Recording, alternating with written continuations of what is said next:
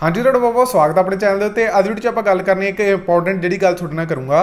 ਸਭ ਤੋਂ ਪਹਿਲਾਂ ਤੁਹਾਨੂੰ ਕਹੂੰਗਾ ਕਿ ਵੀਡੀਓ ਨੂੰ ਸ਼ੁਰੂ ਤੋਂ ਲੈ ਕੇ ਅੰਤ ਤੱਕ ਜ਼ਰੂਰ ਦੇਖ ਲਿਆ ਕਰੋ। ਫਿਰ ਤੁਸੀਂ ਕਹਿੰਦੇ ਹੋ ਕਿ ਸਾਨੂੰ ਵੀਡੀਓ ਸਮਝ ਨਹੀਂ ਆਈ, ਸਾਨੂੰ ਫਿਰ ਉਹੀ ਜਿਹੜਾ ਸੇਮ ਕੁਐਸਚਨ ਜਿਹੜਾ ਸਾਹਮਣੇ ਆ ਜਾਂਦਾ ਗਾ। ਤੇ ਹੁਣ ਕਾਫੀ ਲੋਕਾਂ ਨਾਲ ਜਿਹੜੀ ਇਹ ਚੀਜ਼ ਹੋ ਵੀ ਰਹੀ ਹੈ। ਤੁਸੀਂ ਵੀ ਜਿਹੜਾ 에어ਪੋਰਟ ਤੋਂ ਵਾਪਸ ਆ ਸਕਦੇ ਹੋ।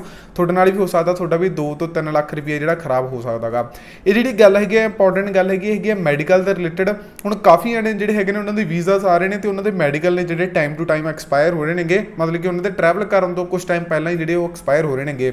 ਉਸ ਦੇ ਨਾਲ ਜਿਹੜਾ ਹੈਗਾ, ਕਾਫੀ ਜਿਹੜੇ ਕਹਿੰਦੇ ਨੇ ਕਿ ਅਸੀਂ ਆਪਦੇ ਲਾਇਰ ਜਾਂ ਏਜੰਟ ਤੋਂ ਪੁੱਛਿਆ ਸੀ ਕਿ ਤੁਸੀਂ ਟਰੈਵਲ ਕਰ ਸਕਦੇ ਹੋ, ਜੇਕਰ ਤੁਹਾਡਾ ਮੈਡੀਕਲ ਐਕਸਪਾਇਰ ਹੋ ਗਿਆ, ਹੁਣ ਤਾਂ ਵੀਜ਼ਾ ਆ ਗਿਆ, ਹੁਣ ਤਾਂ ਕਿਸ ਤਰ੍ਹਾਂ ਦੀ ਕੋਈ ਪ੍ਰੋਬਲਮ ਨਹੀਂ।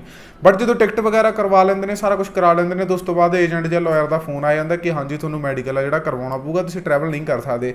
ਤੇ ਇਹਦਾ ਜਿਹੜਾ ਇੱਕ ਜ- ਜਾਗਦਾ ਜਿਹੜਾ ਸਬੂਤ ਆ, ਤੁਹਾਡੇ ਨਾਲ ਸ਼ੇਅਰ ਕਰ ਦਿੰਦਾ। ਇਹ ਟਵੀਟ ਹੈ ਜਿਹੜਾ ਸਕਰੀਨ ਦੀ ਸਾਈਡ ਦੇ ਉੱਤੇ ਤੁਸੀਂ ਦੇਖ ਸਕਦੇ ਹੋ, ਇਹ ਟਵੀਟ ਕਾਫੀ ਟਾਈਮ ਪਹਿਲਾਂ ਮੈਂ ਅੱਜ ਸਰਚ ਕਰਕੇ ਲੱਭਿਆ। ਤੇ ਪਹਿਲਾਂ ਵੀ ਮੈਂ ਕਾਫੀ ਜਿਹੜੀ ਵੀਡੀਓਜ਼ ਦੇ ਉੱਤੇ ਤੇ ਬਣਾ ਚੁੱਕਿਆਗਾ ਕਿ ਜਿੰਨਾ ਵੀ ਕੈਟਾਗਰੀ ਕੈਟਾਗਰੀਜ਼ ਦਾ ਮੈਡੀਕਲ ਹੁੰਦਾਗਾ, ਉਹ ਕੈਟਾਗਰੀਜ਼ ਵਾਸਤੇ ਮੈਡੀਕਲ ਹੋਣਾ ਬਹੁਤ ਜ਼ਿਆਦਾ ਇੰਪੋਰਟੈਂਟ ਹੈਗਾ।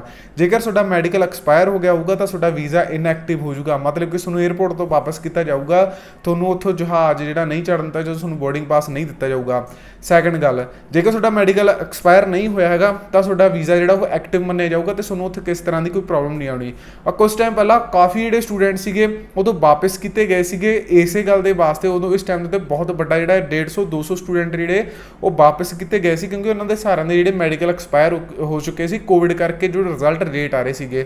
ਤਾਂ ਤੁਹਾਨੂੰ ਸਾਰਿਆਂ ਨੂੰ ਕਹੂੰਗਾ ਚਾਹੇ ਤੁਹਾਡਾ ਵੀਜ਼ਾ ਆ ਚੁੱਕਿਆ, ਚਾਹੇ ਤੁਹਾਡਾ ਸਭ ਕੁਝ ਕਲੀਅਰ ਹੋ ਚੁੱਕਿਆ ਬਟ ਮੈਂ ਤੁਹਾਨੂੰ ਇਹ ਚੀਜ਼ ਕਹੂੰਗਾ ਕਿ ਮੈਡੀਕਲ ਬਹੁਤ ਜ਼ਿਆਦਾ ਇੰਪੋਰਟੈਂਟ ਆਪਦੀ ਜ਼ਿੰਦਗੀ ਤੇ ਦੇਖੋ ਕਿ ਤੁਹਾਡਾ ਮੈਡੀਕਲ ਕਿੰਨੇ ਟਾਈਮ ਤੱਕ ਪਿਆ, ਤੁਹਾਡੀ ਜ਼ਿੰਦਗੀ ਤੋਂ ਮੈਡੀਕਲ ਹਟ ਤਾਂ ਨਹੀਂ ਗਿਆ, ਕਦੋਂ ਤੁਹਾਡਾ ਜ਼ਿੰਦਗੀ ਤੇ ਮੈਡੀਕਲ ਪਾਸ ਹੋਏਗਾ ਤਾਂ ਜੋ ਤੁਹਾਨੂੰ ਉੱਥੇ ਜਾ ਕੇ ਕਿਸ ਤਰ੍ਹਾਂ ਦੀ ਕੋਈ ਪ੍ਰੋਬਲਮ ਨਾ ਆਵੇ। ਤੁਹਾਡਾ ਮੈਡੀਕਲ ਐਕਸਪਾਇਰ ਹੋਣ ਤੋਂ ਪਹਿਲਾਂ ਪਹਿਲਾਂ, ਉਹ ਕਹਿੰਦੇ ਨੇ ਕਿ 4 ਵੀਕ ਜਿਹੜਾ ਲੱਗ ਜਾਂਦਾ ਮੈਡੀਕਲ ਅਪਡੇਟ ਹੋਣ ਤੇ, ਤਾਂ ਤੁਸੀਂ ਖੁਦ ਸਮਝੋ ਕਿ ਜੇਕਰ ਤੁਹਾਡੀ ਮੈਡੀਕਲ ਦੀ ਰਿਕੁਐਸਟ ਆ ਚੁੱਕੀ ਹੈ ਤਾਂ ਤੱਕ ਚਲੋ ਕੋਈ ਪ੍ਰੋਬਲਮ ਨਹੀਂ ਹੈਗੀ ਬਟ ਜੇਕਰ ਤੁਹਾਨੂੰ ਸਿੱਧੀ ਪੀਪੀਆਰ ਆਈ ਹੈ ਤੇ ਤੁਹਾਡਾ ਮੈਡੀਕਲ ਐਕਸਪਾਇਰ ਹੋ ਚੁੱਕਿਆ ਤਾਂ ਤੁਸੀਂ ਜਦੋਂ ਪੀਪੀਆਰ ਆਈ ਹੈ ਉਹਦੀ ਤੁਸੀਂ ਮੈਡੀਕਲ ਕਰਵਾ ਦਿਓ। ਹੋ ਸਕਦਾ ਤੁਹਾਡਾ 15 ਦਿਨਾਂ 'ਚ ਅਪਡੇਟ ਹੈ ਜੇ। ਹੋ ਸਕਦਾ ਤੁਹਾਡੀ 4 ਵੀਕ ਮਤਲਬ ਕਿ ਇੱਕ ਮੰਥ ਹੈ ਜਿਹੜਾ, ਉਸ ਦੇ ਵਿੱਚ ਲੱਗ ਜਾਵੇ। ਤਾਂ ਇਹ ਚੀਜ਼ਾਂ ਦਾ ਸਾਰੀਆਂ ਤੁਸੀਂ ਧਿਆਨ ਰੱਖਿਓ। ਤਾਂ ਇਹੀ ਤੁਹਾਨੂੰ ਇੰਪੋਰਟੈਂਟ ਜਿਹੜੀ ਗੱਲ ਦੱਸਣੀ ਸੀ। ਤੇ ਬਾਕੀ ਜਿਹੜੇ ਵੀ ਜਾ ਰਹੇ ਨੇ, ਉਹਨਾਂ ਨਾਲ ਇਹ ਵੀਡੀਓ ਸ਼ੇਅਰ ਕਰੋ।